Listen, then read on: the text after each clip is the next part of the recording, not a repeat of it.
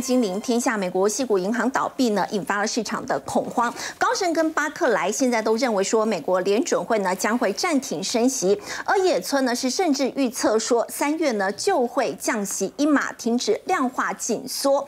而联准会真的是打算要放飞通膨了吗？另外，系股银行倒闭的危机扩大呢，亚洲股市在今天都是受到了影响走跌的。台股在今天以下跌两百点来做收，不过太阳能生技族群呢却是可以逆势撑盘。那么接下来可以布局哪一些防御型的概念股呢？另外，金控股在历经去年的利空重击呢，除了玉山配息是创下了新低之外，国票期呢更是终结连续十三年发放的情况，在今年是不发股利。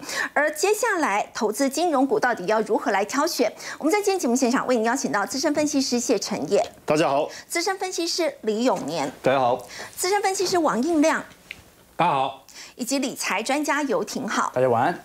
好，沈燕，美国在一个礼拜之内呢，三家银行倒闭，那么接下来可能还会有十家银行步入后尘了。现在野村大胆预测说，在三月份可能就会降息一码哦。所以这样的一个情况之下，是通膨已经变得不重要了吗？太可怕了，因为一个礼拜倒三家银行，我们念一下：Silvergate，嗯，哦，Signature，还有细谷银行。大家有没有发现都是 S 开头？所以取名字很重要啊！你赶快查一下你手上的银行清单，如果是 S 开头的，你要特别注意一下哈。当然，现在第一共和银行的也变成这个呃众矢之的哦，因为你看股价一口气跌了六十八哦，大家也觉得很奇怪，因为我觉得现在我们最担心的是说资优生，因为第一共和银行过去是银行业眼中的眼红啊，为什么？因为它它所在的位置也都是有钱人呐，包括连佐克伯都是他的客户啊，对，基本上不太可能出现代账。怎么会股价跌到触动这个触发这个熔断机制？对，所以你就知道这一次的问题非常非常的严重。我们看到 KBW 这个银行指数，因为银行指数不是只有一家银行，它是编制所有的这个金融股在里面。结果也跌了多少？十一趴哎，嗯，所以你就知道，基本上银行股是全面重挫。那在这个全面重挫当中，似乎不断的在蔓延。因为这个嘉信理财啊，过去算是资产管理非常重要的，它也当然它也是吸收存款，然后去做一些呃资产上面的投资。那过去以来，它的收入非常好，因为我去投资哦，买债券啊等等啊，我可以赚到利差，对不对？一百亿美元的一个利差。占了他收入一半，可是随着利率上升，他要给客户的存款利息是不是要提高？可是问题来了，客户可能还是不满意啊，不满意怎么办？往外走啊，资金一旦抽离也会产生问题啊。当然，嘉信目前对外的一个，因为这个时间都要第一时间出来澄清。我很多朋友他们有国外银行账户的，都赶快收到那个通知 email，我自己也有收到，他说他们的战信各方面都很健全啊，请不要害怕，应该就是叫我们不要。产生挤兑的这个行为，因为一旦挤兑了，确实会产生问题。现在的问题不是投资失利的问题，是大家紧张恐慌而挤兑产生的问题。但是还是一样，不管你怎么怎么跟客户讲，客户就是害怕。你看它的股价昨哎盘前就跌二十五趴，盘中哦一开盘啪一个二十啪一样碰到熔断，熔断。所以所以现在的问题确实引发了整个投资界的一个恐慌。然后这样的情况，大家可能会觉得说。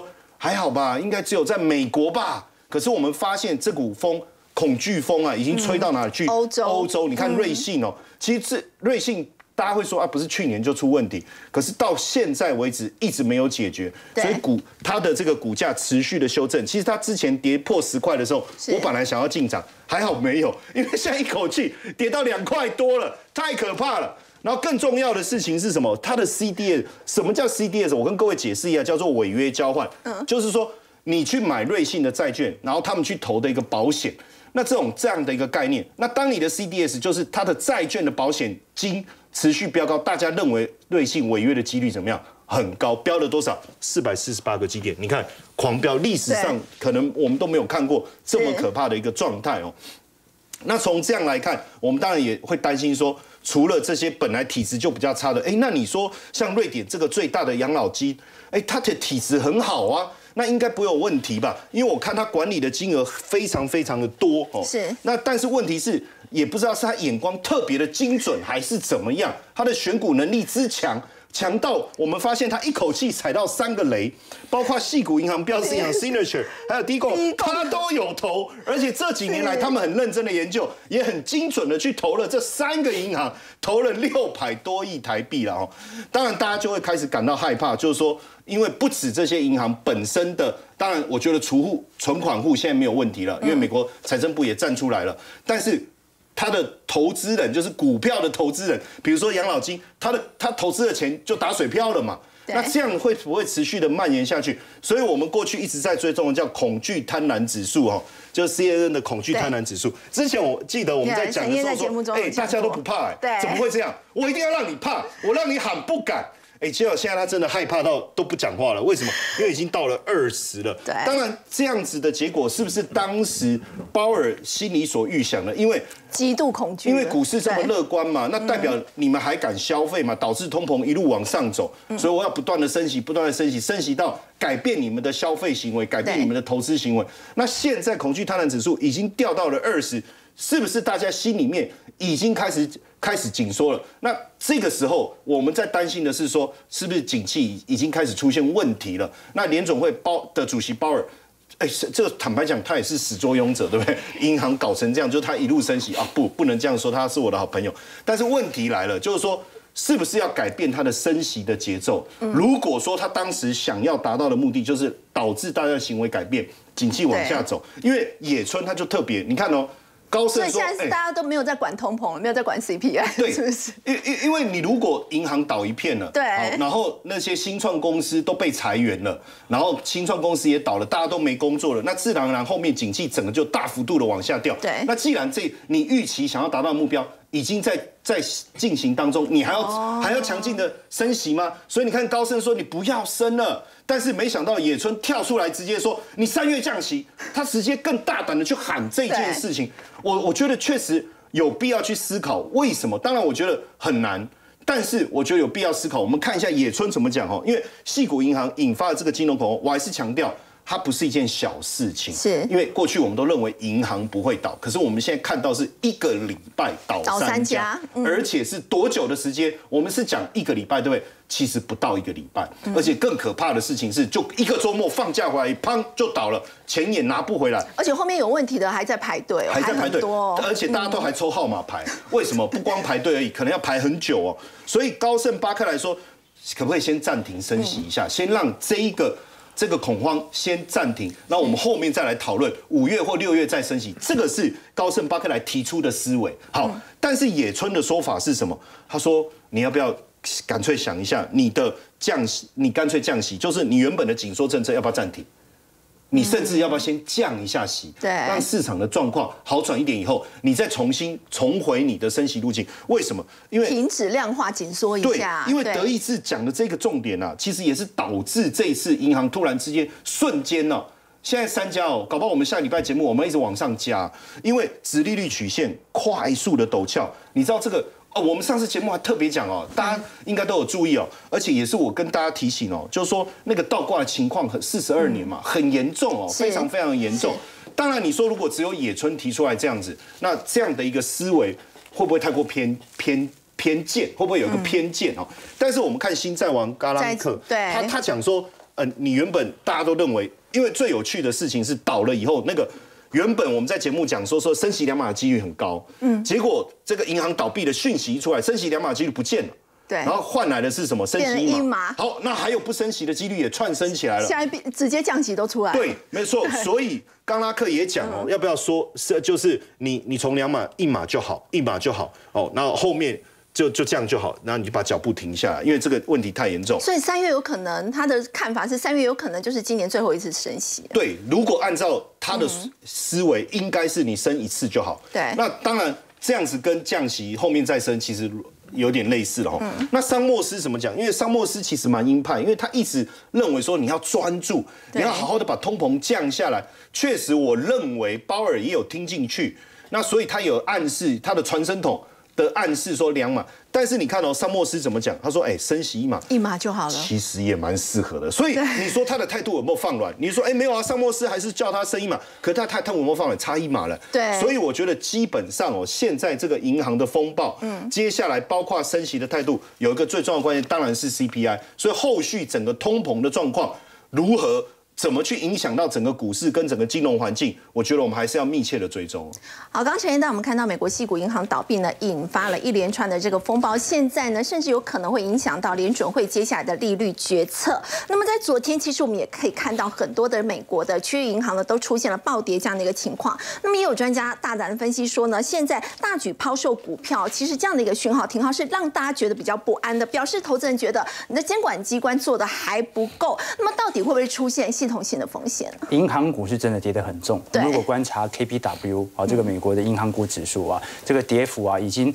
把过去几个月的涨势全部吃掉，可是你看昨天科技股那还收涨哦，啊，这说明市场的情绪哦，感觉好像有专门针对银行股来恐慌啊。但是以指数来看的话，回撤幅度并不如大家想象中来的大。其实我们还是要回归源头啦，到底这一轮的系股银行的倒闭会不会引起一连串的系统性风险？我们必须从源头来一一做推导。这一次这一次事件最为显著的发酵期是来自于市场对于系股银行的资产减损问题嘛？过去我们跟投投资朋友提过，这张图表是 SBB 哦，细股银行的资产组合，它有接近一半，也就是黄色区块哦，是持有美国国债和 M B S 不动产抵押证券。那照理来讲哦，这个叫做标准的避险资产呐。你持有美国国债，你怕什么？对不对？持有 M B S，你怕什么？那就是连总会现在持有的东西嘛。但是风险资这个避险资产哦，现在却被视为风险资产，原因是因为过去一年时间利率水平大幅升高，对于债券的减损力道大幅上升，所以你才看到它的未实现亏损啊，接近一百。五十九亿啊，这个是它有史以来最大规模的亏损了。是，那问题来了，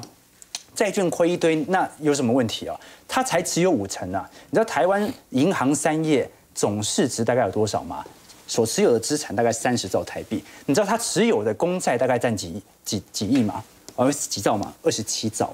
所以台湾是九成，九成持有债券，那人家是持有五成，五成而已。对，所以你按照这个角度来推论的话，不免就觉得有点奇怪啊。因为资产减损，所以它就要倒闭嘛？其实不是用这个逻辑来判断它倒闭的原因，而是因为当这件事情爆出来之后啊，由于资产的减损力度不断的扩大，加上呢这件事情，当市场认为说，哎，你的资产减损好像有一点问题之后啊，S V B 的公关处理能力出了一些问题，他马上打电话给重要这些大权重的客户说，可不可以不要进行资金的领取哦，来帮助我们度过现金流问题？他只是缺一点现金嘛，银行可能有一些存户要提领的问题哦，就缺这个。现金而已啊，但是 S V B 把这件事情传出去之后啊，就开始到处传了，大家就在开始挤兑。打了这个电话之后，大家反而会觉得你是真的很严重。对啊，所以我们常跟投资人分享啊，如果你持有债券呢，比如说你持有一兆的债券哦，那可能现在跌了两成，你只剩下八千亿哦。但是这个八千亿哦，叫做叫做未实现亏损，就是你持有到期，这个两千块是回得来的。但问题在于什么？如果这个时候你的存户都在大幅挤兑提款的话，哎，那你就真的。一兆就剩下八千亿，从未实现的亏损变成了已实现亏损，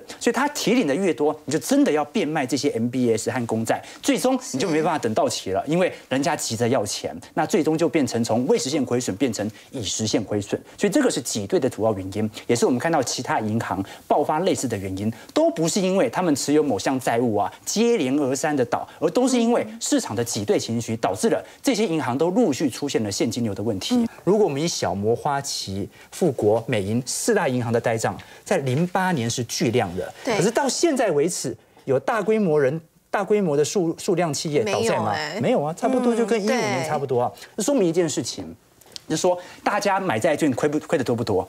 亏的真的都很多，但是有没有人因为？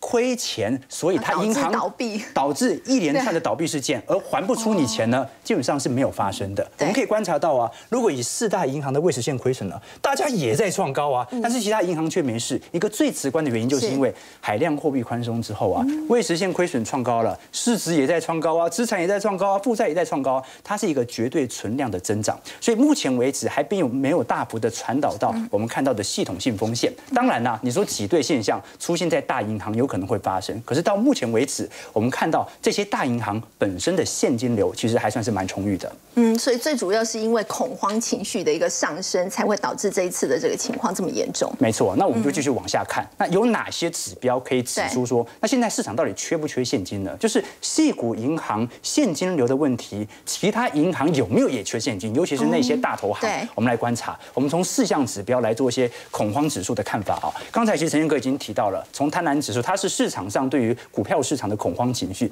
像恐不恐慌？是有一点恐慌，但是贪婪指数啊，它是一个短期均值的乖离现象。你要看到底现在的恐慌跟二零零八年一不一样恐慌，你就要看一下 VIX 指数啊，要看一下恐慌指实体的恐慌指数。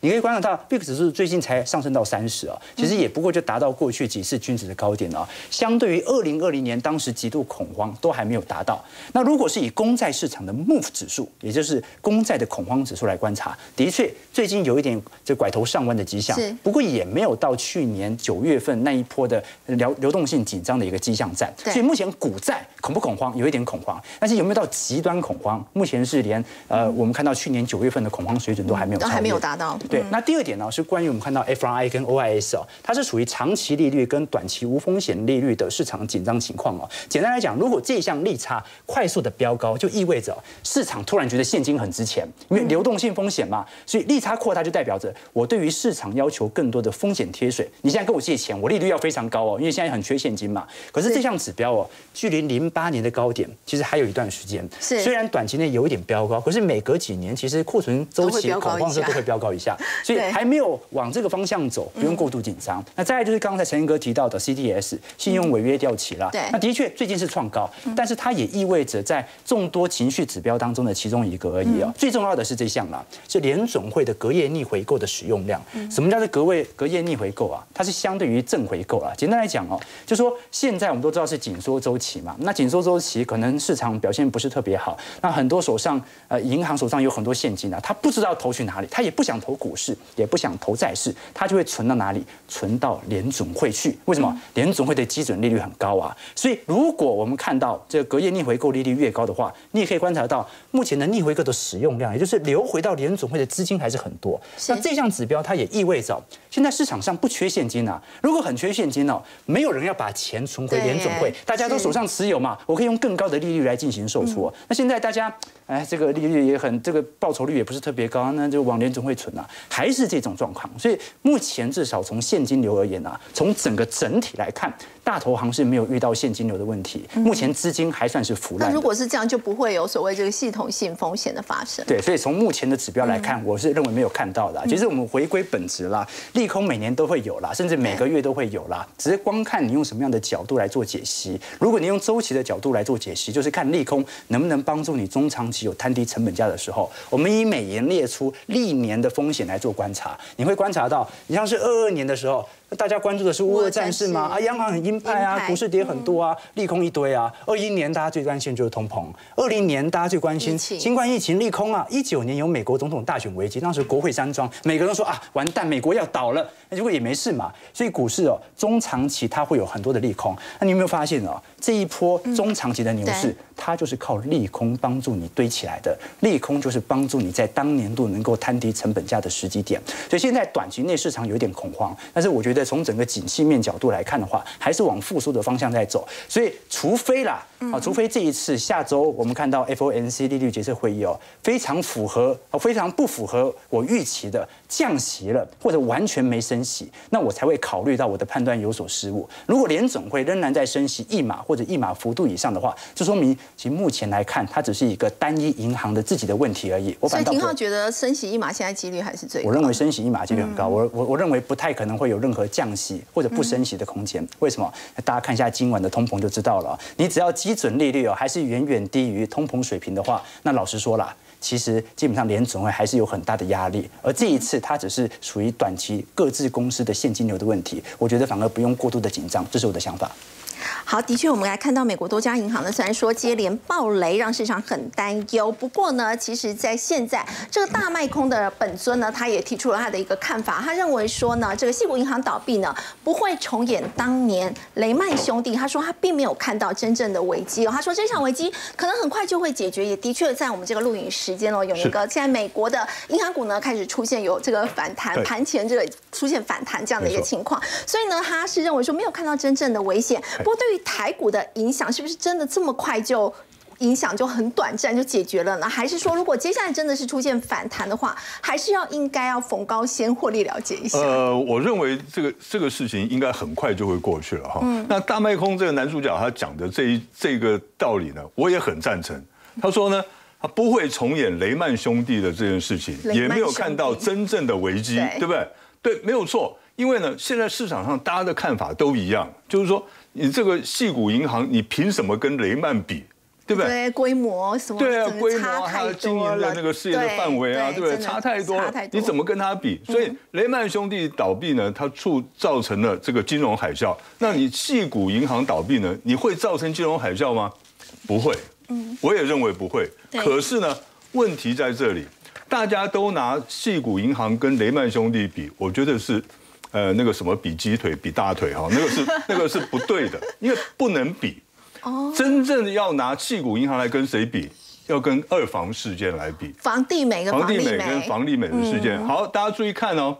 我为什么说这么讲呢？因为呢，在二零零七年的七月的时候，二房危机爆发，就对次贷风暴爆发了。那在当时呢，道琼指数跌了十点七趴。是哦，那也是呢，风声鹤唳，当下大家觉得很恐怖。可是呢，到了一个月之后，八月三十一号的时候，那个时候小布希总统呢，他就颁布了一连串的一些这种救市的措施，哦，他就把这个风波平息下来了。然后呢，大家就说，哎，没事啊。那也只不过是这种这个不良债券不不良债务的这种贷款的机构，它出了问题。那正常的这个银行啊，这种贷款机构都没有问题。大家就说，哎，这是个小事情，就跟现在大家看这个系股银行倒闭的事情一样，大家觉得区域性的银行而已嘛，不会什么大问题。好，可是呢，然后之后呢，它从八月三十一号这个美国股市的道琼指数开始涨哦，而且呢还超过了原来的高点。嗯，那个时候市场的气氛好的不得了，一片大好，对不对？可是之后呢，开始跌了。道琼指数从二从二零零七年的十月开始回档，一路往下一路回档呢，到二零零八年九月十五号才爆发雷曼兄弟倒闭。哦，哦，才爆发这个雷曼兄弟倒闭事件。那在这一段时间，从十月二零零七年十月到二零零八年九月十五号之前之间呢，道琼指数跌了多少？已已经跌了十九点五五，将近两成的幅度，跌了将近两成了。嗯，那然后呢，雷曼兄弟一宣布破产之后，就开始崩盘，对，道琼又跌了四跌了四十成以上，三点三。对，所以这个告诉我们什么？现在我们台湾这个这个呃系股银行破产的这件事情是位于这里。哦，我认为在这边，接下来呢不会有什么事情，因为这次他们处理的速度很快，对，对不对？昨天到今天就已经把这事情都处理的差不多了，大家也觉得说没什么事情了，所以我认为会有一波反弹。反弹可这一波的反弹很可能就是逃命波。哦，所以还是不能太大意，对我掉以轻心。我认为是这个样子啊哈。那当时呢，台湾的股市也是一样，台湾股市呢，你看哦。美国道琼指数才跌了十点七趴哈，对二房事件发生之后，那台湾的这个呃股市的加权指数呢跌了十八点五趴，将近一倍。然后呢，到了这个二零零七年十月到九月的时候，他们跌幅是二十趴，我们跌幅是三十六趴。对啊，我比跌的比美股的跌，幅还要更深。为什么会这个样子？因为呢，外资拼命的卖股票。哦，跟这一次情况是不是很像？因为我们现在台股其实也是有点像外资盘的这种感觉，没有对错然后只要哈一遇到有状况的时候，可能台股就变成提款机了。对，没有错。所以呢，我们再看一下我们现在台股未来的走势可能会怎么样？大家看一下哦，我是认为说了，不还是不会跌破年线。跟季线的支撑，那年线跟季线支撑大概是在一万五千一百点上下五十点之间哈，我认为不太会跌破，因为明天反弹的机会就很大。年线、季线这边还是有一个支撑。对，没错。那明天的反弹的机会就很大了。那如果说能够撑住，我们现在先讲不跌破这个年线、这个季线的支撑的话，那展开一个反弹的话，因为市场上认为说，哎，这件事情已经结束了，已经解决了，后面大概不会有太大问题了。这个时候信心恢复，这反弹起来，第一个会来挑战呢。这个紧切线的位置哈，就对大概一万五千八百点，15800我们这次的高点是一五八七九嘛哈，差不多会到这边。对那甚至于呢，突破了之后，甚至有可能来挑战两年线，两年线一万六千两百点16200，对对，好，所以一万六千点上下两两百点这个距离应该有机会来。嗯，可是呢，我把它当做一个逃命坡。哦，就是接下来可能操作上的话，还是要先小心谨慎一点。不过我们说到现在不确定的因素实在太多。如果在这样一个情况之下，其实今天反映在台股盘面上，像是生技股啊、太阳能相关的族群是相对比较有撑的。然后请教永宁哥，如果说在整个市况不是很明朗的情况之下，到底要怎么选股？OK，好，那如果我们这样讲，先以避险为原则哦，因为现在整个整个股市呢表现的还是暧昧不明的时候，很不清楚的时候，那我是认为说，还是呢做要做避险动作的话，那我们去找一些所谓的贝塔值比较低的贝塔值，对贝塔值，它就是跟这个股市的这个加权指数联动性比较没有这么密切的这种股票。那其中呢，像是包括了像是电信股啊，电信三雄，还有民生必须的，你吃饭是一定要吃的嘛，对不对？好，另外呢，还有生计，生计里面我是比较偏向于制药，为什么呢？因为呢，制药业呢。我们这样子讲了，你生病了要不要吃药？一定要吃嘛。是。我们今天这个鸡蛋涨价了，我可以不吃鸡蛋嘛？对不对？我吃鸭蛋啊、鸵鸟蛋都可以嘛？是不是？可是呢，你生病了就一定要吃药啊。是。好，所以呢，他们是比较不会受到通膨啦，还有金融市场的变化的影响。哦。所以像电力也是一样哈。所以会对通膨、金融海啸会相对比较免疫。对，比较免疫的制药业啊，我先讲的制药业，因为。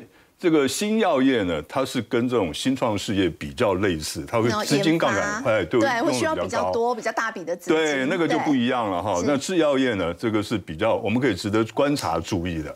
我们选两只股票来跟大家做说明哈。一个是旭富啊，旭富呢，它是你看一下哦，它的年这个二月份的营收年增率多少？将近百分之三百，三倍耶，是不是？哈，对。这么通膨啊，什么金融这个风暴有什么问题？当然一点影响都没有嘛。对啊，哦，今年累计呢，就是一、二、一二月加起来，它的年增率也是百分之一百一十九。它做什么呢？它做阿兹海默新症的新药 T X 零二三七哈，这个他们这个药名哦，这以后改个名字，哇，这个那么长。跟那个车号一样哈，那最快呢，它会在二零二四年呢要开始在美国、英国、欧洲以及加拿大等地上市哈。那它续付独家提供原料药，那在这个新药呢，它对于这个它对于续付的营收贡献度呢，可以超过一年六亿块、六亿元台币哈。那所以呢，这然后大家看一下，这是周线，对，一个呢这个圆弧底哈，这个这个时间呢长达多少？长达三年的一个圆弧底出来。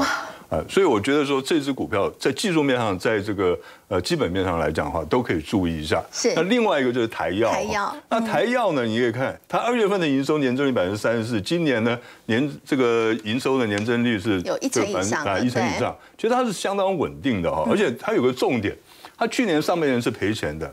那可是到了下半年呢，转亏为盈，总总结一年的它的这个呃 EPS 呢，其实是高达三块多。嗯，哦，本来是赔三块多，到了下半年变成呢这个全年变成这个赚三块多，转亏为盈的公司。然后呢，它这它的药呢，它大部分都是做原料药，也是做原料药还有制药，而且它今年开始呢，它个蛋白质药呢，哈。它它这些它包括像台康以及台新药，它都有转投资哈。那转它已经开始转型成为全方位的整合式的研发生产，它跟服务一条龙的一个生产一个厂商啊。而且投信一直在买哦。对，投信也在买它的两千五百张了哈。那这个今年以来，那所以呢，我们可以看这个也是周线，也是一样做出一个圆弧一个圆弧底哈。那么我认为啦，它可能还要再整理一段时间。可是整理一段时间呢，等到呢。它今年的一月的财报公，在第一季财报公布出来之后，它应该有机会呢就开始表现。为什么？因为呢，它在去年上半年它之所以会亏损，是因为转投资的亏损。可是现在这些子公司的这个亏损呢，已经开始打平了，已经开始没什么问题了。所以它光靠它自己本身的这些营收呢，创造的盈余哈，应该就会让大家眼睛为之一亮。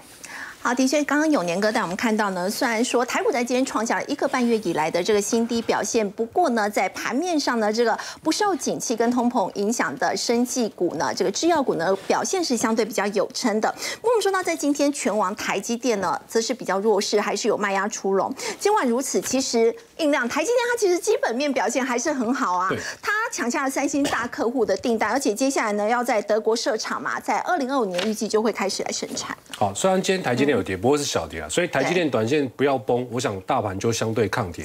那其实我们可以说，台积电它竞争优势还是在持续扩大当中。因为高通啊，在三月十七号宣布，它旗下新的晶片，这个蛟龙七 Plus 的晶片呢，要交给台积电四纳米来做一个代工。那大家要知道，其实高通这个七 Plus 的晶片呢，原本是给谁？给三星的四纳米做。对，等于说现在台积电抢单成功，所以三星就急了，三星就跳脚了，因为所以三星去抢他的人没有用嘛？对，抢回来要抢要抢他的这个相关供应链才有用啊。所以最近三星的高层呢，就派了一堆人，密切的跟台积电大联盟相关的供应商做个接洽，像嘉登啊，像崇越以及智源啊，像 M 三幺。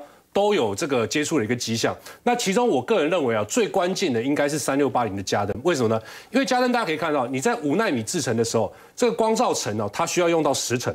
那你用三纳米来做的时候呢，这个光照层就要用到二十层。而且呢，三纳米制程里面，现在三星啊、英特尔啦、台积电制程都要开出来了，对不对？那这个里面呢，它的 E U E V V 的曝光机。也要升级，那升级之后呢？你不能够用传统的这个光照盒，必须要用第二代的光照盒。而这个第二代的光照盒呢，加登在全球的市占率来讲，它占了大概七成。所以它排名第一嘛，所以三星为什么要找它？因为它是非常非常重要的。那从这里可以看得出来，三星现在真的是急的。因为从良率上来看的话，三星的四纳米良率大概只有六成，六成，台积电高达八成，所以当然是找台积电嘛。所以这对台积电来讲绝对是个利多。那另外一个消息呢，在于说这两天台积电也传出来要去所谓的这个呃德国啊德勒斯登来做一个设厂的一个动作。那我想啊，看的是车用这一块吗？对他绝对看的是车用这个区块。我觉得。他去德国还有逻辑哦，他像去这个日本、去这个所谓美国，其实有点被迫去的哈。但为什么我说去这个呃日本的部分呢？啊，去德国部分是是未来是有利可图呢？呃，现在呢有越越来越多的车厂，它采用什么自己设计晶片，然后找台积电来做代工。我举一个最简最简单的例子，就是特斯拉。特斯拉其实最近在它所谓的 Model S 跟 Model 呃 X 的部分，已经更新到了 HW 四点零的硬体。那这个硬体最大的变革就在说，原先是用九颗镜头，现在用十二颗的镜头，所以等于说你运算能力要增强，所以它的晶片的效能要更好。那等于说它晶片要做升级。那这个趋势成型之后呢，未来会有越来越多的车车厂，它可能也会朝向跟特斯拉一样，就是自己设计晶片，然后我找。这个呃，台积电做代工，所以，我我说为什么他去德国可行性、可成型的原因很高，就在这个地方。今天你可以发现到，像三一六的精确股价呢，盘中一度涨停，它也是创下。近期波段的新高，那精确它去年是赔了很多钱，但是因为它有跨入到所谓的铝电池盒，那铝电池盒来讲的话，今年呢市场就看它有机会出现所谓由亏转盈，所以股价的部分呢，虽然 EPS 没有上来，但股价已经先走了，它反映明年有可能哦机会会不错。那飞鸿也是一样的道理，飞鸿今年没有赚很多钱，但是预估明年在整个电动车充电桩的部分，最近营收占比对哦会大概飙到五成以上。是。那上周来我有讲过，它是壳牌的供应链，因为壳牌。还是全球第二大的这个石油石油石油厂嘛，那它现在的这个充电加油站要盖所谓充电桩，所以它上来了。但是我说了，也可以注意什么？注意随三零四六的剑机。当时我我在这个地方在节目上跟大家做报告，你会发现最近其实呢也涨了大概四成多。好，所以这两档都是壳牌的概念股。那涨上来之后呢，我觉得接下来呢要往所谓的这个充电桩的上游去找，因为充电桩里面的车用被动元件的需求未来一定是增加的。那有做这两个车用被动元件的部分，大概就是光捷，光捷已经涨多了。那另外呢，可以注意到低档刚刚上来的凯美，为什么呢？因为股价会不会动啊？你看公司董事长自己的一个心态就了就知道了。董事长今年来以来呢，他买超了这个凯美四百九十五张，自己有信心，自己都在买。对，虽然说张数不多，但是你要知道，他目前总持股加了这四百九十五张之后，也才一千五百多张，等于他今年又买了大概呃五成的一个量，对不对？所以代表他看好未来的发展趋势嘛。那重重要重点在于说，充电桩的电容它要用到二十颗，那充电桩的后膜电阻要用到五十到一百颗。所以为什么光捷很标？因为光捷主要是在后膜电阻这个区块。那凯美它也有，所以你会发现，其实呢，投信买完光捷之后，他现在回过来买什么？买凯美。